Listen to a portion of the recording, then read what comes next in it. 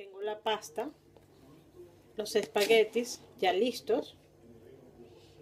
Y ahora lo que haré es que los conservaré acá afuera, serviré los platos que, que, comeremos y luego lo que haré es que los guardaré en la nevera.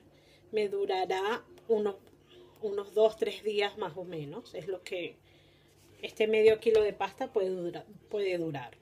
De esta pasta solo comemos, de estos espaguetis, solo comeremos tres personas, que es mi hijo pequeño, mi marido y yo, ya que como les he dicho, los otros dos son celíacos y no lo podrán consumir.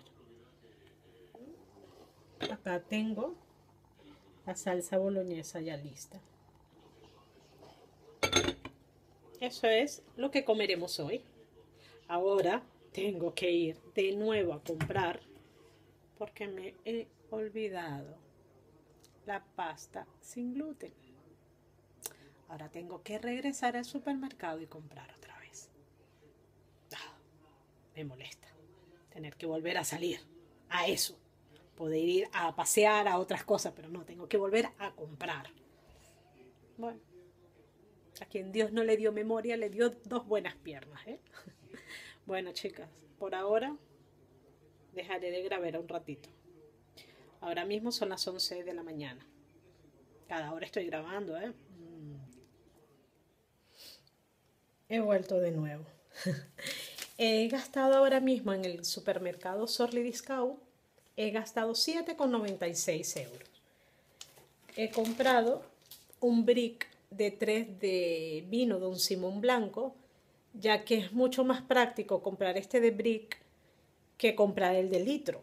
Porque si compro el de litro, que también es de brick, em, se, me, o sea, se me daña porque no lo uso tanto ni tan seguido el vino blanco para cocinar. Pero me gusta tener para ciertas ocasiones. También he comprado tres paquetes de pasta sin gluten de la marca Gallo. Compré una de espaguetis compré este de plumas y en mi país se dice, en mi país se dice plumas. Este acá también se dice plumas, pero normalmente se le dice macarrones. Lo he comprado de la marca Gallo, ya que de todas las marcas que hemos probado, en realidad la que más le ha gustado a mis hijos ha sido la Gallo. He comprado de Carrefour, de Mercadona, mmm, creo que de ningún otro supermercado más, me parece, no recuerdo, pero he probado varias marcas y ninguna no, le ha gustado tanto como esta. Entonces, se las compro. También le cogí otro paquete, le compré tres paquetes para tenerla de este tipo hélice. En mi país se le dice tornillitos. Siempre les diré de las dos formas, tanto en venezolano, latino, como, como se dice aquí en España. Yo soy súper venezolana y soy y adoro a España.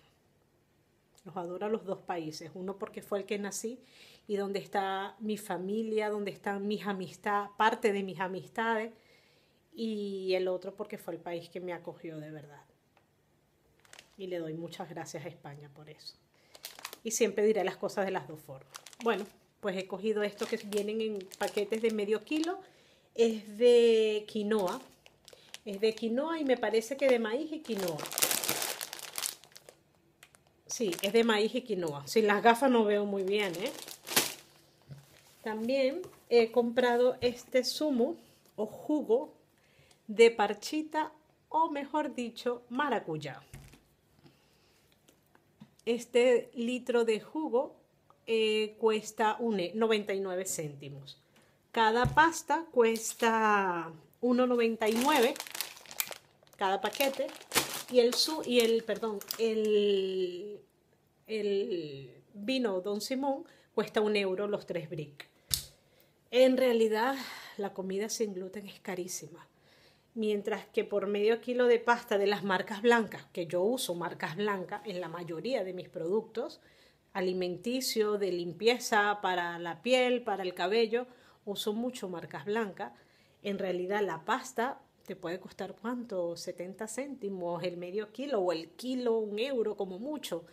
Y sin gluten medio kilo te cuesta 1,99. De verdad que es un drama lo que vivimos las familias que tenemos hijos con celiaquía o los que son intolerantes a la lactosa. En mi casa solo tenemos intolerantes al gluten. Y de verdad que no quisiera ninguna intolerancia más, porque es sumamente complicado. Bueno, ahora les sigo grabando. Estoy haciendo, bueno, voy a mostrar de una vez lo que estoy preparando, que es la pasta sin gluten. Voy a encender aquí un poco de luz y les muestro.